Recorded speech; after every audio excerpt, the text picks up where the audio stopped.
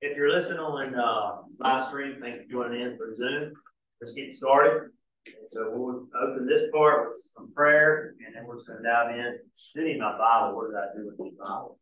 Oh, there it is. Sorry. All right, so Philippians chapter two, if you want to turn there, got a Bible, if you want to turn there and follow along, so I'm reading verses. Um, Philippians.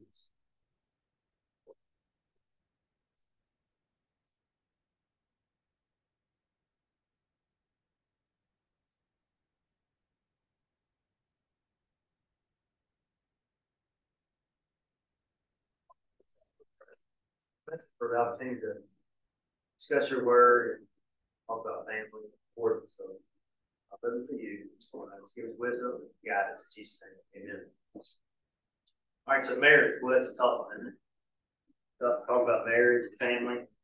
Uh, we're gonna follow on Philippians chapter two, kind of keep this in mind, but it says, uh, let nothing be done through strife or vainglory. Think about this personally.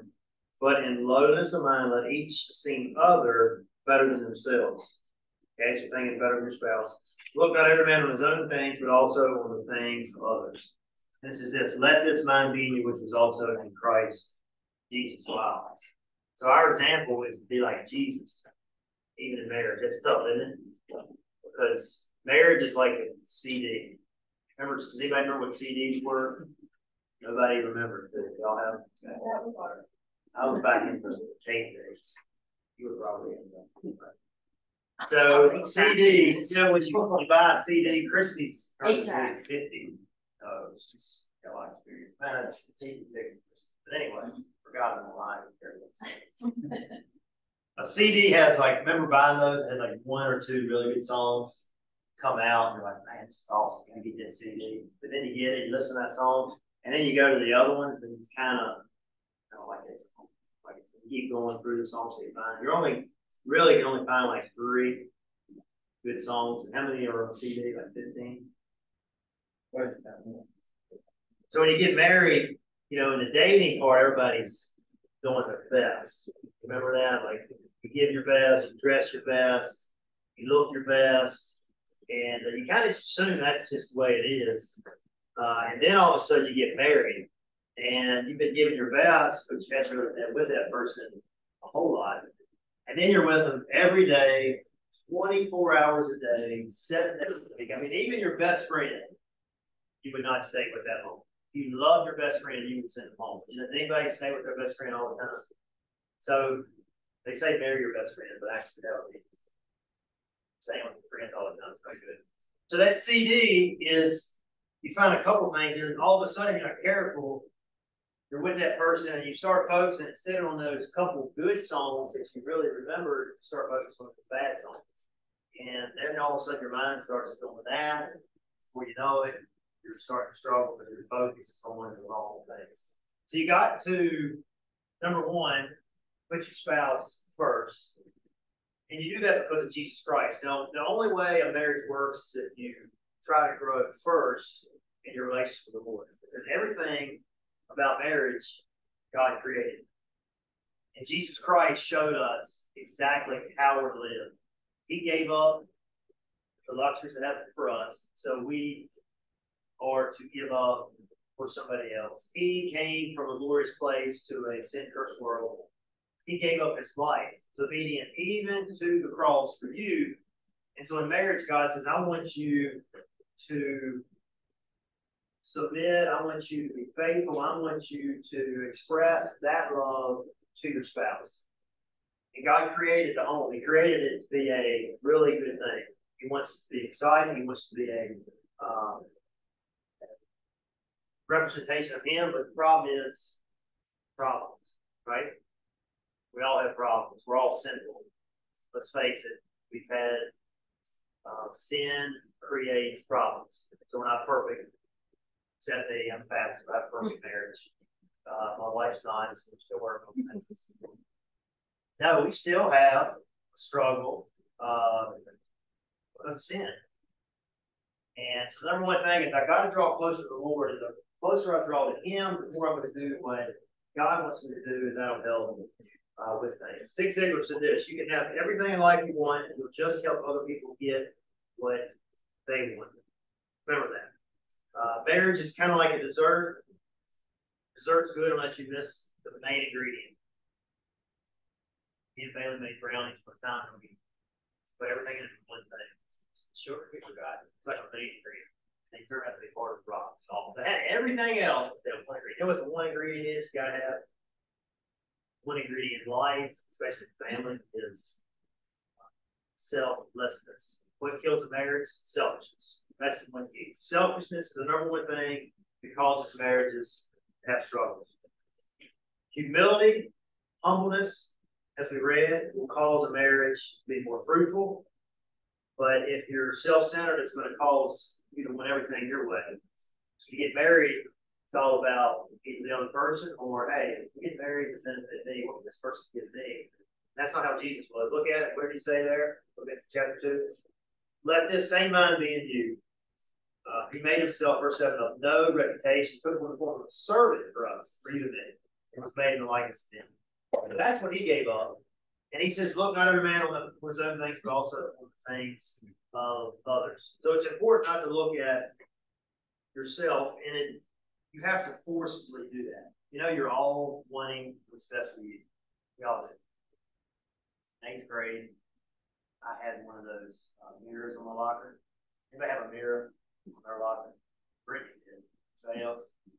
Yeah, I ain't gonna lie. All right, where Bailey gets it from eighth grade? First thing I did, you come from Sharon to eighth grade, it's like a shell shock, man. I, everything's perfect Sharon. You get there, but we've got fears. There's some that's been there for years. They're men. they are men.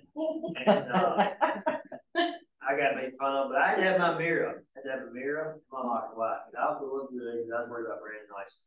And that never changes as you get older unless you submit to God's word. It's natural for you to want to be number one. That's natural. For you to want your spouse to put you number one, for you to worry about yourself. And as long as your spouse put you first, you're going to be okay. But that was not the mind of Christ. And too often we, we focus on ourselves. Matthew 7 3 says, Why beholdest thou the mote that's in thy brother's eye, but considers not the beam that is in thy own eye?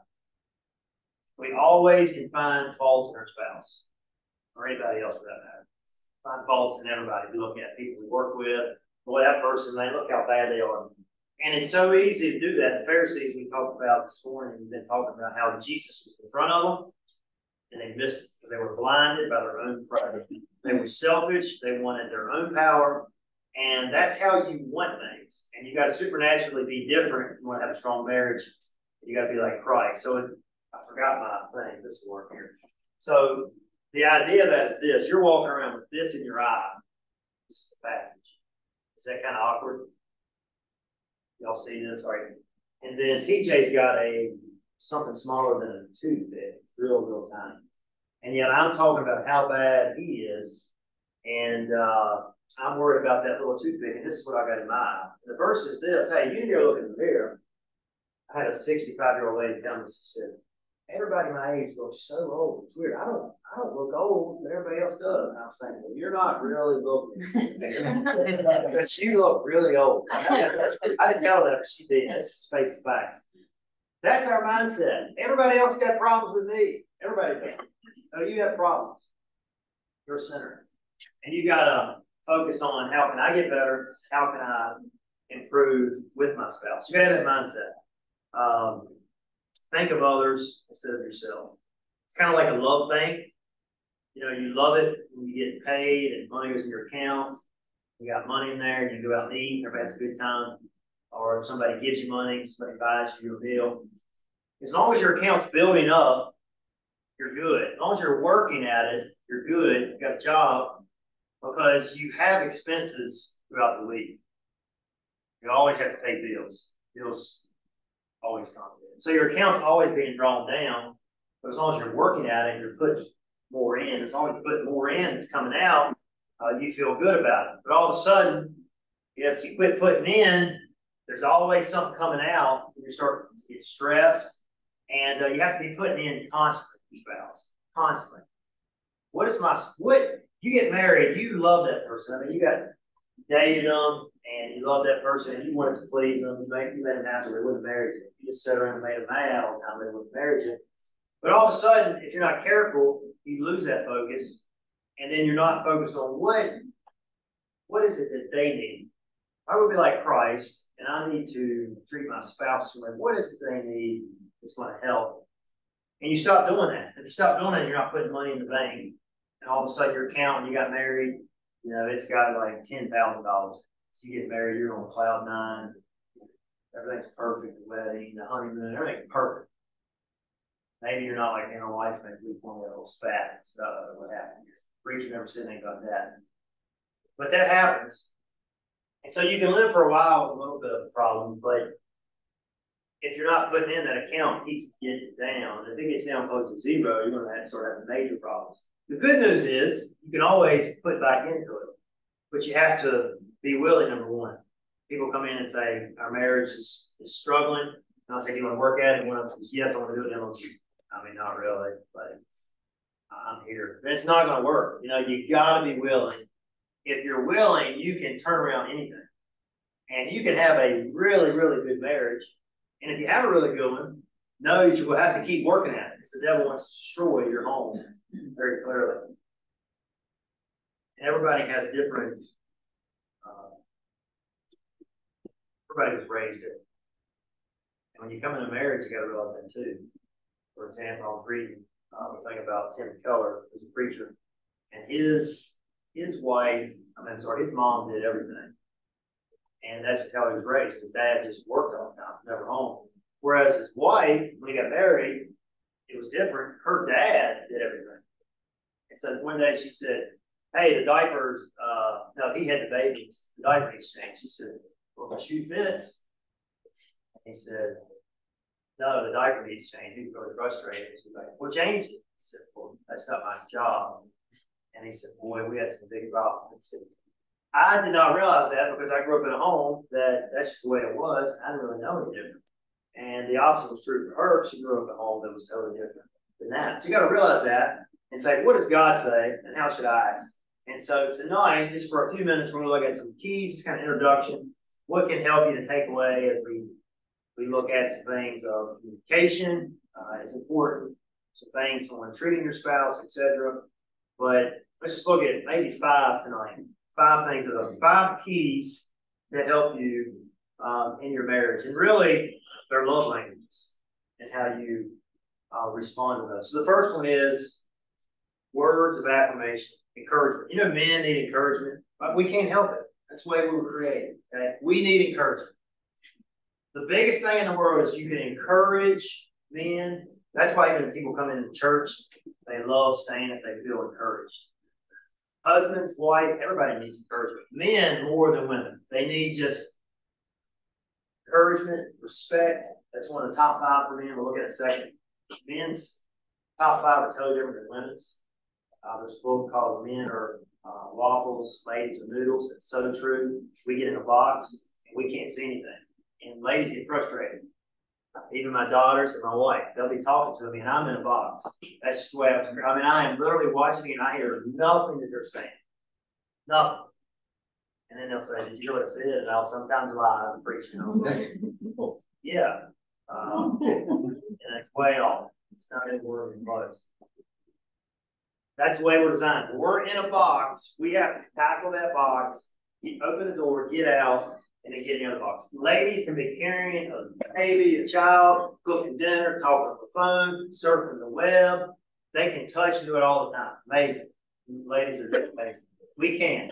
So for one, ladies gotta give us some slack. But guys, number two, you gotta sometimes get out of that box, close the door, and then get in the box that um, spouse is in, so that you can actually listen to them. If you don't get in that box, you're not gonna listen to them. They say.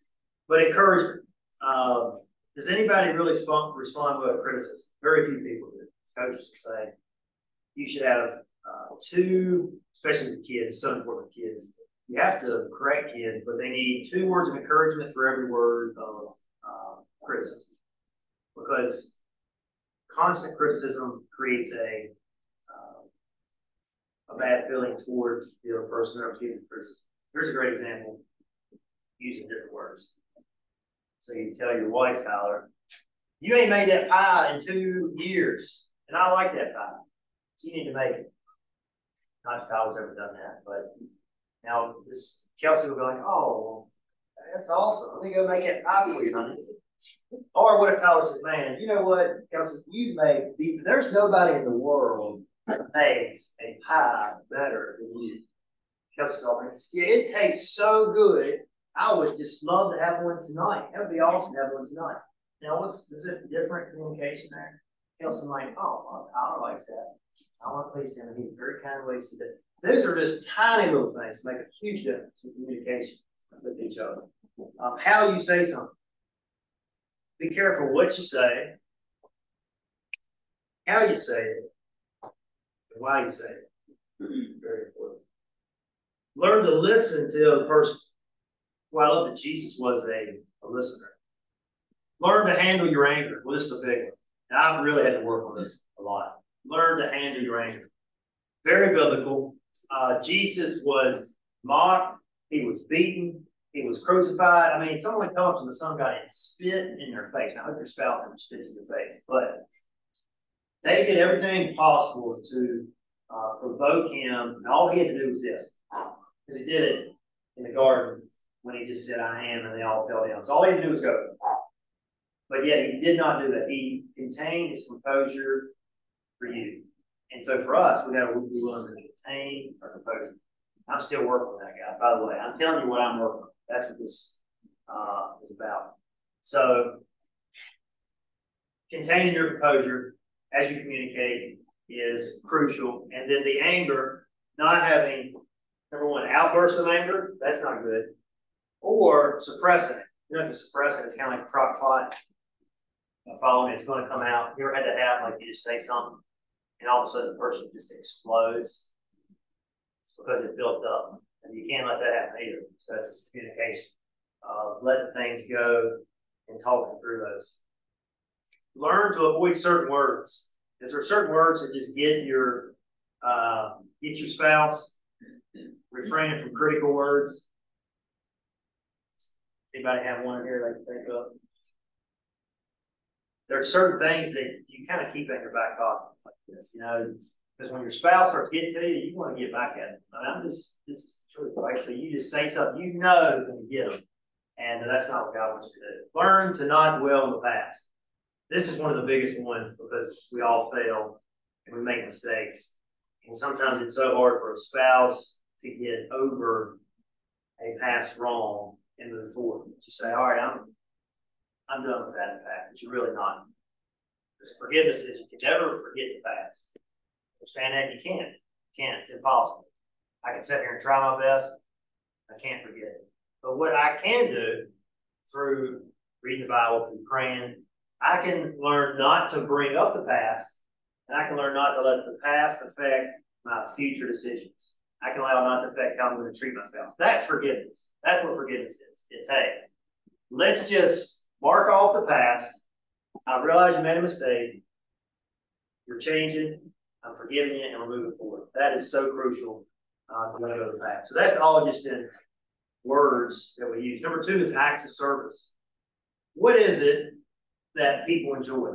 You know, if, if you're in business, normally you take somebody to lunch. They teach you take somebody to lunch because you're giving them something. You're buying their lunch, and they feel almost obligated. They do. Feel obligated to do business with you because you're doing something for them that they enjoy. What is it that is an act of service that your spouse likes it when you do it.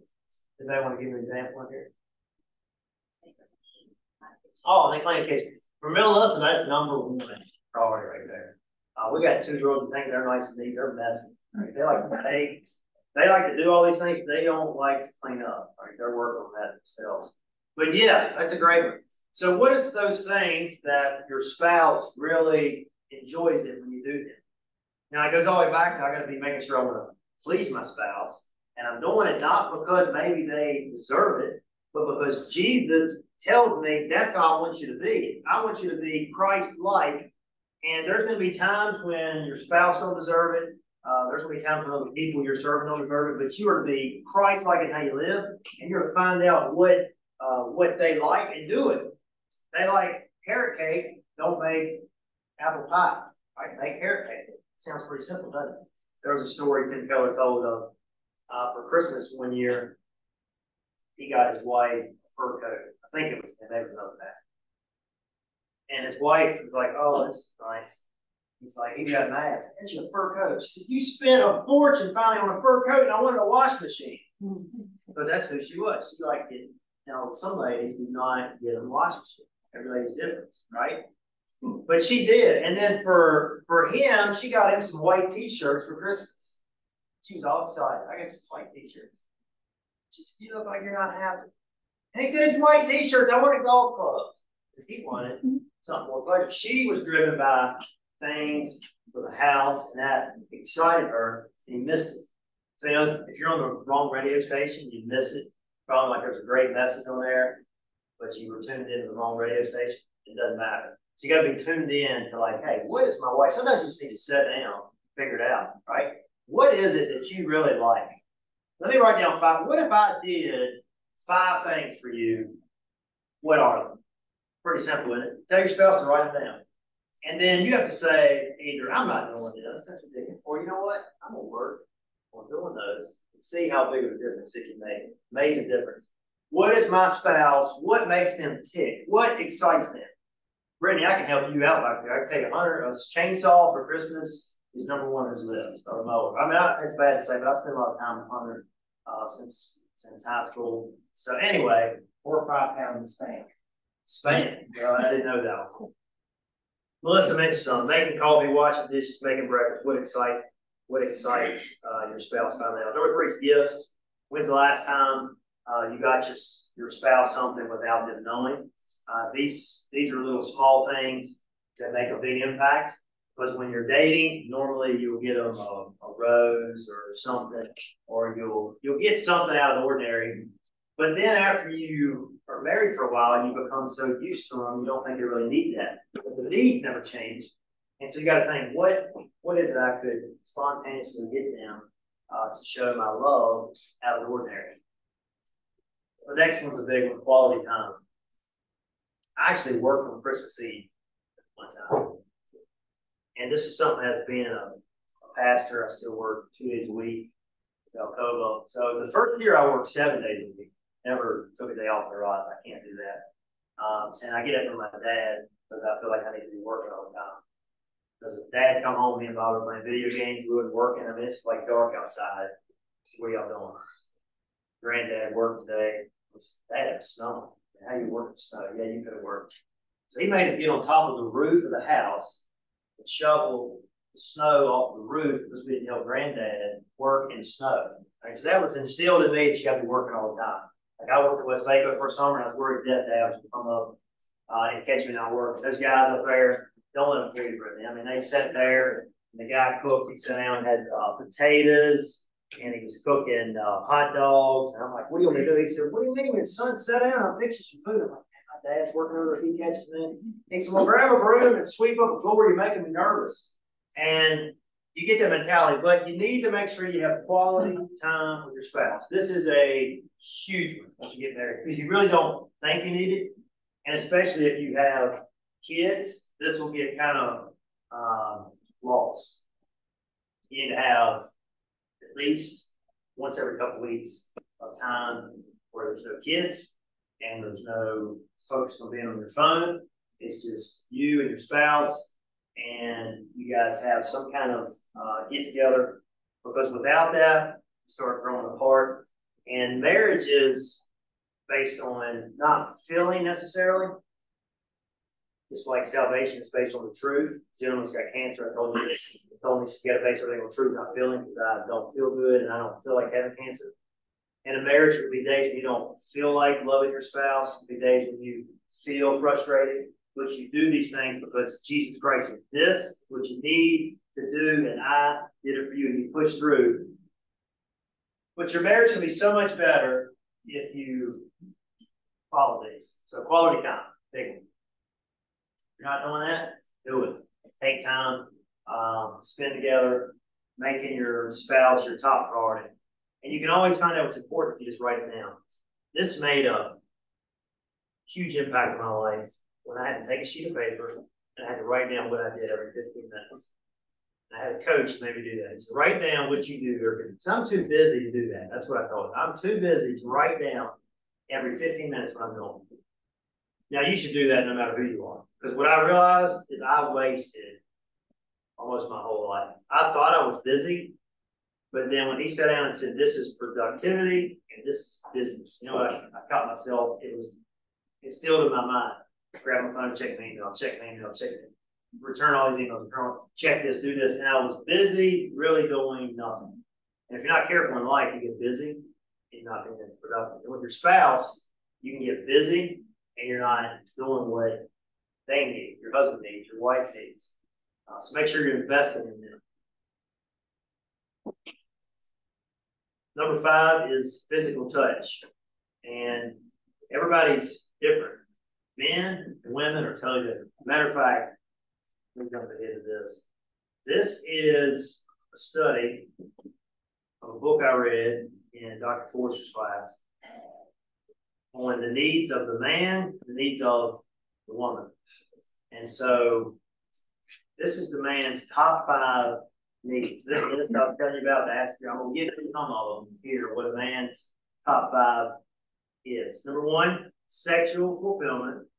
Number two, recreational companionship, doing things together. Number three, attractive spouse. Believe it or not, they they do like uh, you taking time for yourself. Number four, domestic support. That's the running of a home uh, and his need. That's big to a man. And number five is respect. So respect is in the top five.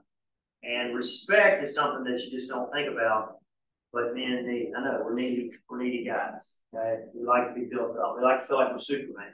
When you say something, if they look terrible, you say, "Man, you did a really good job uh, making those eggs, whatever it is."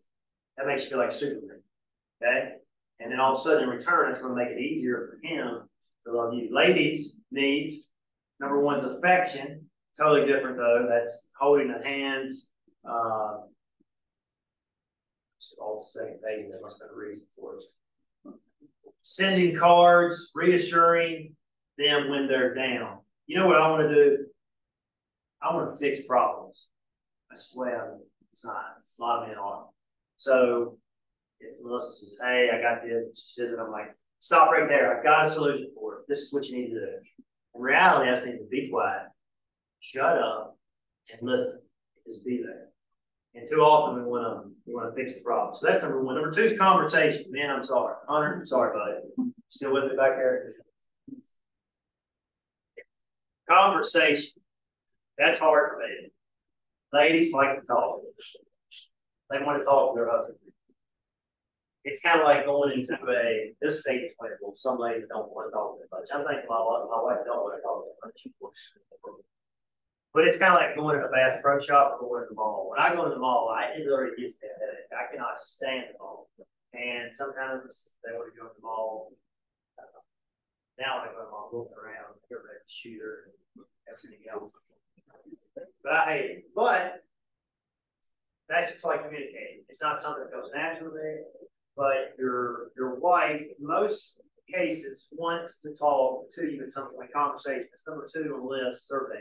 Number three is honesty and openness. Just tell them uh, the truth and what's going on. And if somebody calls and tells you, hey, we need to do this at seven o'clock on Friday night, make sure you tell your wife and don't tell her at 655 before it happens. Financial support, ladies, that's big, and uh, family commitment that's huge for ladies. So you got to be committed to your uh, to your spouse. That's all in the physical touch part. I'll say this about kids too. Kids need physical touch more than anything. Young kids growing up, normally their uh, their personality and their mindset are made up of like eight years old. But throughout their life, this was eye opening to me when I took a class at Fairfield Baptist that kids really need 14 touches a day. That's a lot. You say, what's a touch? Well, touch on shoulder, a hug, hey, I, I love you. I hope you have a good day today. And these are things that get lost because I got lost in them, just assuming if I'm in close contact to them, then I'm there. but there's quantity and there's quality. And a kid needs to know they're loved more than anything in the world. And they get that by just touching the shoulder, a hug, hey. Uh, when your kid's talking, you should get down and get an eye contact with them. So I had learned. It makes a world of difference. They feel like, wow, mom and dad's taking enough time to actually listen to me. And then don't cut them off. Let them every now and then uh, talk to you and then discuss things with them. That's all touches. But 14 a day, that's a lot. And they used to get them from more people, maybe a good teacher or something would show some love. They don't get that anymore. And so it's up to the parents. And as crazy as our world is, as insane as our world is, if you do what the Bible says for kids, they're going to turn out okay. They really are. If you love them, if you show them the love of Christ, uh, if you show them the great example, they see that uh, mom and dad's relationship, they're working on it. They see that and they know that they're being loved and you're trying, they're going to be okay. Very important. Um, To go too long, but I did mention the love bank. And you know, when you go to the bank, I'm talking a lot. Y'all good? Everybody good? I like I didn't talk too much. Are, are we okay? You are the preacher. Listen, said, you realize you met over just talking. There's nothing else to really count. so I feel like I talked a lot. So y'all are good. We good? We need to take a break? Uh, okay. We're almost done. Love bank. When you go to the bank, what do they ask? Say, I'll take them a check for two hundred fifty dollars. What do they say? How would you? How would you like the money? Twenties, tens, hundreds, right? Don't they? What if they just handed you money? You're like, wait a minute, I need twenties. What if they just turn around and said, sorry? Actually, we went through Wendy's. This is where I get loose focus. i tell you what. We went through Wendy's. Wendy's done here, went through the word cookie. And then once you get a chocolate cookie in your mind, the guy took the order, paid the money, and uh, the guy was cussing in the, in the drive like, this is crazy. Anyway, then he pulled up the thing, and he's like, we ain't got any cookies. What? The guy took the order, took the money. Yeah, I don't know why he took that. We don't have any cookies. We're like, what in the world? And then so they're they're laughing in there, and they're they're ignoring us. I did. Looked at Melissa and I just smiled. I was like, this is crazy. Like this is actual restaurant here with this. And they're only. I said, well, can we at least get the water that we? Oh yeah, they gave us water, no straw. Hey, I need straw for the water. Crazy. But they ask you, right? How do you want the money? Have you ever asked your spouse, hey, what is it that you really want out of me? What is it that drives you? And are you willing to say, you know what, that is what makes me tick. And uh, I'm going to work to do what they want because Christ goes all the way back to Jesus. He did it for me. I wouldn't be alive today if he didn't do it for me. I wouldn't be alive today if he didn't give up everything for me. I've got eternal life. So yes, sometimes is it hard? Is it easier to please ourselves? Of course, we always want to be pleased. But the more you do that, the husband's king, then you're going to be queen. And if the uh, guy that you make her king queen, you're going to be king. So that relationship goes back and forth. And if you get a spouse that's 100% sold out trying to please the other person, and it may take a while, but then all of a sudden the other spouse turns and they want to spend 100% trying to please the other spouse. Those days when you have like 50%, you just do. You have those days wake up and it's just not your day. But the other person give 100%, it covers you for the day. If you're only trying to give 50 and say, oh, that's again, we get 50%. Like giving an ounce more because they don't deserve it. And that person doesn't give full 50. And then you're not at 100, you have, you have a lot of problems. So remember that. Three things here. Don't forget, every person needs to be loved, every person needs to be respected, every person needs to feel, feel appreciated. Very, very important. Very, uh, do that. Don't be like the couple that said, said this, if I can find it. Hold on. Finish with nine. Oh, yeah. So they were in marriage counseling, and the guy said, You need to find something that you two have in common. Work off of. Okay, that was already. And they come back and say, Did you find something that you have in common? Yes, great. Let's write it down. They wrote it down and said this. One thing we have in common. We can't stand each other. Now, if that's you, guess what? You can still overcome that, but you have to be willing. And over the next few weeks, we're gonna look in detail, um, at a few things, but that's a quick basis of what can help. Marriage should be a good thing. God created it. Every part of marriage God created. When there's a problem, it's because of sin. But apart from sin, follow the Bible. You know, also marriage, your kids will benefit from it, and uh, God will be on it. All right, let's have a word of prayer, and uh, we'll, we'll be dismissed from this, and we'll maybe take some questions. Lord, thanks so much for your word. We thank you for uh, the opportunities we have to learn more about you, more about the family. Thank you for the instruction manual. That'll be, I pray you help us guide us in that way. In Jesus' name, amen. All right. Oh, if you just put these uh, up here and, and stack them up for next week, we will, we will go over them. All right, we won't take questions tonight because they're done. And we'll have maybe some discussion next week.